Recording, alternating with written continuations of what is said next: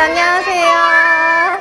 지금 펭귄들이 여기에 똥을 많이 싸놨어. 그래서 펭귄 수조가 지저분하거든요. 같이 깨끗하게 한번 청소해 줄까요? 그래 그래 구석구석 잘 부탁해요. 응?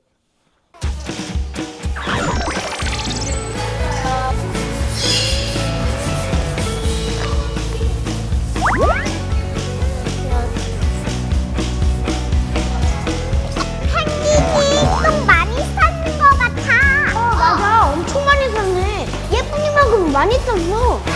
아유 이 정도 별거 아니요. 평소엔 그냥 아주 그냥 아유 쑥스럽네 그냥.